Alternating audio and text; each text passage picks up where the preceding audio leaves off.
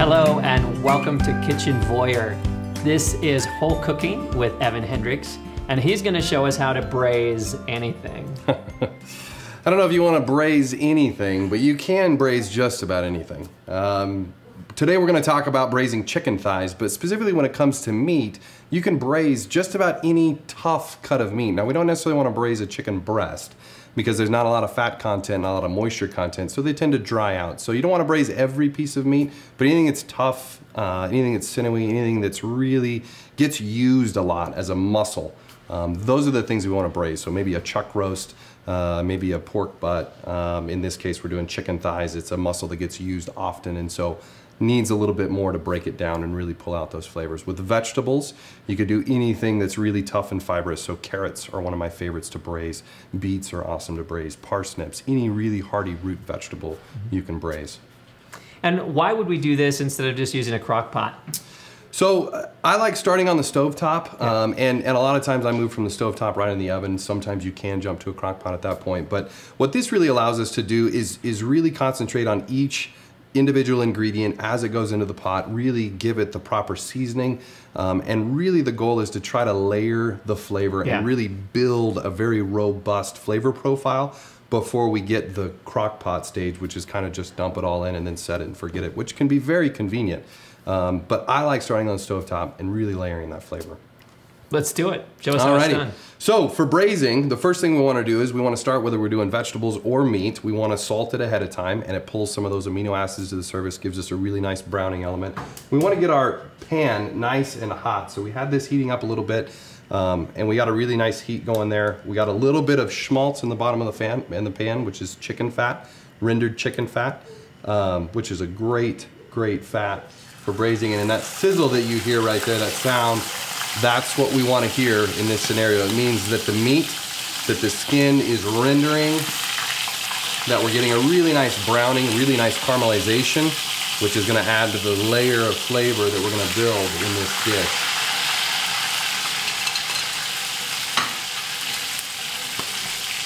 So our chicken goes in. The first thing we want to do is we want to salt the other side. So like we said, cooking on the stove top allows us to season as we go and really layer in the flavors.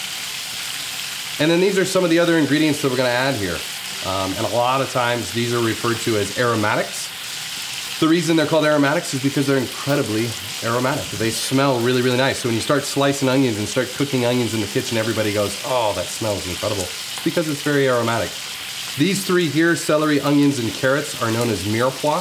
It's a French term that just means celery, onions, and carrots, and it's kind of the building blocks for all French cuisine, but a lot of cuisine throughout the world. Yes. We're also gonna add garlic, another aromatic that's very pungent, um, and it really is gonna bring a lot of flavor um, to what we're cooking here today. So you'll notice with braising, we're gonna start off on the stovetop searing and really caramelizing and kind of um, building the flavor there.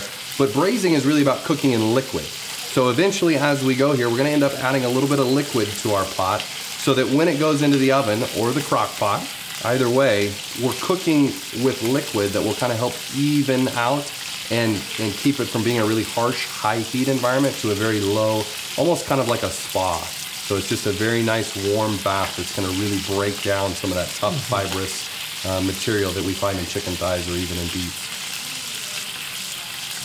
And what this uh, the chicken fat that you rendered is yes. called schmaltz. It's a it's a a Yiddish term, I think. Yes. Yeah, yeah. So it's they obviously don't eat pork, right? Kosher cuisine, and so in order to get some kind of cooking medium um, or to add really rich flavor to a dish, they would use chicken, and they would render the chicken fat out of the skin, and then they would use that as their cooking medium. So it's beautiful. We're cooking chicken in its own rendered fat, and it's just going to enhance the flavor. Um, and you could probably speak a little bit to the health qualities of it. Yeah, I mean it's it's a it's a great fat for cooking in because it's relatively saturated, which means it's stable at high temperatures and isn't going to go crazy on you and form these off molecules that you really don't want. So it's very heat tolerant. So you'll notice we've got some really nice browning on our chicken chicken thighs here. The brown shows that the uh, amino acids, the protein is really caramelizing. It's that Maillard reaction that you might hear about. And that is just adding a ton of flavor to our dish that if we were to just throw this in a crock pot, we wouldn't be getting. And so this is the main advantage for starting on the stove top is we're adding so much flavor to our finished dish by just taking a few minutes here at the beginning to really focus on each vegetable individually and each piece of meat individually. Now, Evan rendered this chicken fat starting with the how to break down a chicken episode that we already showed you. And that just is a one more advantage of breaking down your own whole chicken because you can take the you can take the fat off the chicken, you can melt it down so you have your own cooking fat. So at this point, I think our chicken has a nice browning to it, nice caramelization. We've added a lot of flavor to it. And we're gonna keep all that rendered chicken fat in the pan and now we're gonna cook our vegetables in it because now it has a lot of flavor in there. So we're gonna go in first with our onions and we're gonna add just a little bit of salt. Again, seasoning each ingredient as we go. Not only will this help add to the flavor of the finished dish, but it's also, like you said, right, Marc? It's it's a it pulls things out. There's a there's a osmosis, uh, osmotic pressure that pulls water and amino acids out of the uh, whatever you're cooking. So when you use salt, especially kosher salt, because of the size of the granules, they tend to pull water and anything that comes with the water out. And that allows that to be on the outside of the vegetable where it then comes into contact with the heat and the oil to then form these flavor molecules that we're after. So that's why we salt as we go because it helps us define and develop flavor as we go along. And we're not adding a lot of salt. I know no. a lot of people are, are really afraid of the amount of salt in their diet, and this this isn't the kind of salt that we need to be afraid about, right? We're just seasoning each ingredient as we go. Unless you know you're salt sensitive, um, I, this is not the type of salt to be that worried about. And again, we're not using that much. So again, you'll notice we're just kind of cooking each vegetable for just a minute or two. We're really not looking to caramelize the vegetables here. Um, we're just looking to start pulling out some of their own natural juices, their own moisture, and start layering in all the flavors that we want to be in this finished dish. Mm-hmm. I can smell it from here. It's delicious. It smells. This is one yeah. of the like best smells in the world. I absolutely love it. So we have onions, we have celery, we have our carrots in there diced up, and you'll notice, Marc, still here on the bottom of the pot, we have some of those browned bits. Yeah. That's called fond, F-O-N-D and that is more flavor that we want to get up off the bottom of the pot. So we're going to add just a little bit of water. At this point, you could add wine, you could add stock, you could add um, just about anything, cooking sherry, things of that nature. But this is a process called deglazing, where the liquid is going to actually pull that fond off the bottom of the pot and pull it up into that sauce. Again, further fortifying and enhancing the finished dish. Now you'll notice the last thing we've left out here is the garlic, which oftentimes recipes will tell you the first thing to go in is the garlic, and it's it's one of my pet peeves. It drives me crazy because garlic has a really, really high sugar content. Anytime you've crushed it and peeled it, you'll notice your fingers get really sticky really quickly. And that's because there's a lot of natural sugar. And so if the garlic's the first thing that goes in, the first thing that happens is the garlic ends up burning. The sugars in the garlic burns and then your whole dish tastes like burnt garlic. Tastes like burnt garlic. And that's happened to me before. And so I'm a huge fan of adding garlic in the last minute, couple of minutes, let it just simmer. Pull out some of those aromatic qualities of the garlic, flavor the rest of the broth that we're creating, flavor the rest of the dish. And at this point, we've really brought all these flavors together now with the liquid.